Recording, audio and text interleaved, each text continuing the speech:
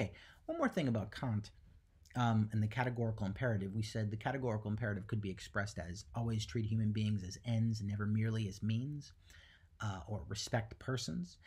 Uh, and by the way, um, when Kant says always treat human beings as ends and never merely as means, he doesn't mean you don't treat human beings as means. Of course, human beings have to be treated as means in certain circumstances. For example, when you have a waiter, uh, they are a means to get your food. But if you treat them as merely a means, that is, if they're just some kind of thing that's designed to, you know, some kind of robot or machine that's designed to bring you your food, that's not a morally praiseworthy action. I can treat people as means, but not merely as means. I can't reduce their dignity or their subjectivity, and because then I'd be violating their personhood.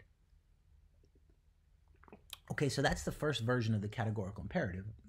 Actually, it's the second version in the text, but don't worry about it. Um, but that we could say that's the first uh, or the most accessible version. Always treat human beings as ends and never merely as means. But this this other version that Kant uh, Kant's first formulation of it for some for some reason has gotten more attention, but I don't think it's as powerful as the version we talked about. It ends in themselves or respect for persons.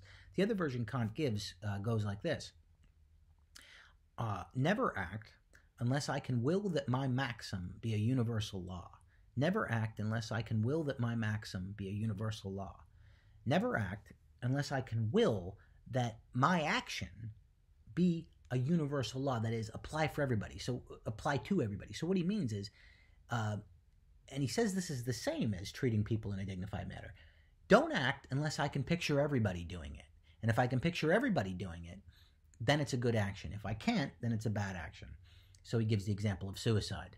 Obviously you can't act you can't kill yourself because if everybody killed themselves where would that lead us? Or i can't steal because if everybody stole society would, would break down. Or i can't lie because if everybody lied business dealings would break down. So kant says uh, the, another version of the categorical imperative he thinks it's the same articulation as always treat people as ends and never merely as means is to say never act unless you can will that your action be universalized. You can picture everybody doing it. He actually thinks that this is uh, the the rational foundation for something like the golden rule treat other people the way you'd like to be treated or do unto others as you would have them do unto you. He thinks what's really behind that is imagining everybody doing something and seeing if it works out. Now whether or not they're the same thing uh, he thinks they are. Namely an action out of uh, for the sake of duty is acting uh, so i can uh, imagine that action being universalized or acting for the sake of respect for persons. Both are the moral law. Both are the categorical imperative for Kant. Both are um, uh, our duty as human beings, as moral agents, as rationally free moral agents. Okay, so just to summarize, the two versions of the categorical imperative never act unless you can will that your maxim, subjective principle of volition, uh, be a universal law. Never act unless you can will that your maxim be a universal law.